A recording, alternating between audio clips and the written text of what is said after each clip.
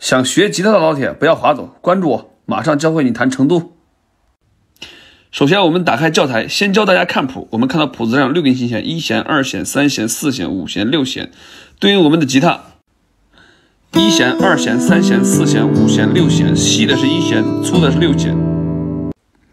小叉画在哪根弦上就拨哪根琴弦，叉依次在五弦、三弦、二弦、一弦、二弦、三弦，一直重复。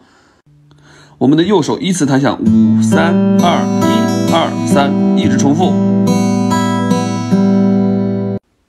每一格上面都有一个指法，这个叫和弦。也就是说，我们只要学会这四个指法，配合右手，左手按，右手弹，就可以把这首歌弹出来。现在看我示范一下。